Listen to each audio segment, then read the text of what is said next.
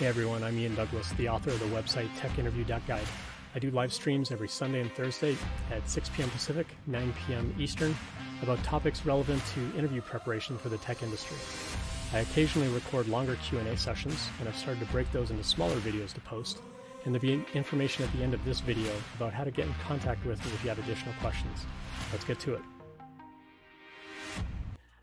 Uh, last one on my list. I didn't think I was going to get through all of these, but uh, chat was a little quiet tonight. So um, the last one on the list. What are some? What are the best ways to identify top talent in your field? Um,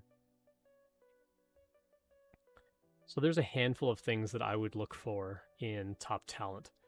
Um, depending on the company and depending on what it is we're trying to do and what we're trying to build in roles uh, so with at the employer that i'm at right now in the past so I, I worked for them before i went to turing for four years and i went back to that employer which is why you always want to leave on good terms because you always want the ability to go back to a job if possible. Um, if you liked it there and they liked you uh, you always want the uh, the ability to go back. The, the kind of employees that we were hiring back in the day like four plus years ago were people that did a lot of technical writing uh, around subject areas that showed they were an expert on something. Um, and so it was kind of a developer relations kind of role where they were really good at sharing information with other people, uh, positioning themselves as a thought leader or as a technical leader in some kind of area.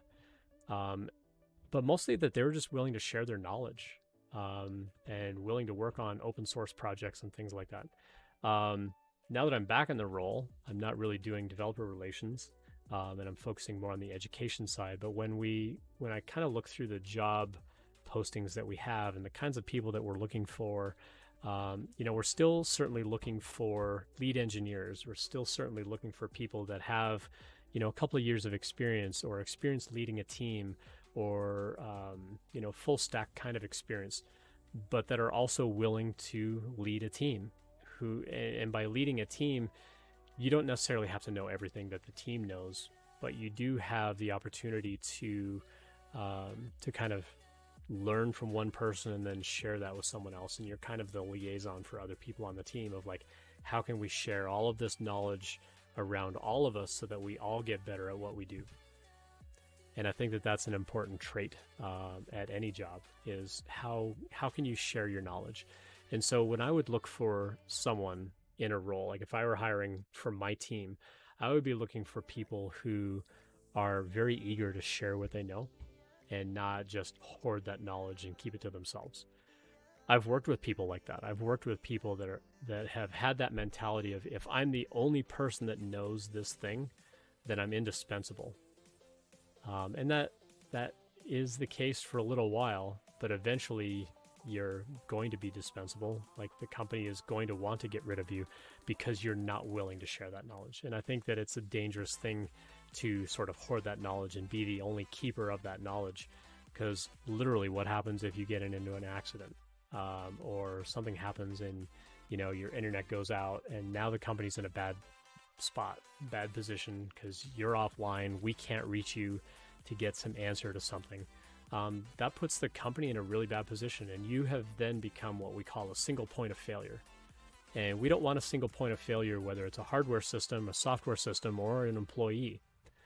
So I would say within a company, um, being able to share that knowledge is is probably one of the top things I would look for. And that's kind of the catchphrase of this whole channel. It's like share what you know and we all win. I think that it's important to share that knowledge. That's why I love doing these streams. Hey, thanks for watching. I love helping people out with interview prep, and I hope this video helped you in some way. If you found this Q&A useful, please consider subscribing. You can follow me on Twitch as well for the live stream twice a week. Check out techinterview.guide slash streaming for more information. I also have a daily email series that you can subscribe to on the website. There are never any ads, and when you finish the series, I scrub your information out of my database permanently. Finally, if you have a question that you'd like answered on the stream, you can find my contact info on techinterview.guide.